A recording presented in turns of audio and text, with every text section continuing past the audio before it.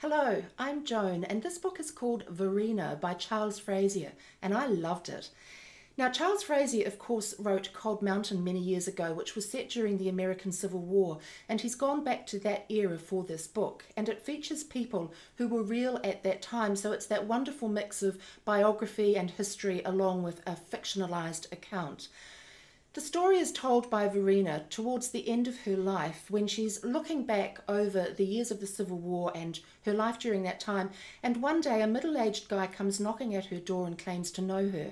And when she thinks back, she realizes that he was a young black child that she took into her household all those years ago, which, of course, was a highly unusual thing to have done at that time.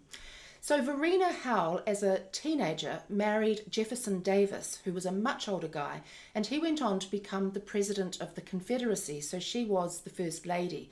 So this is a book about living in essentially what could have been the White House. It's the story of plantations at that time in the antebellum South. It's about slavery, the black people, and what it was like for her as a young woman to be thrust onto the biggest stage of the Confederacy. I thought that it was just beautifully written and I really loved it.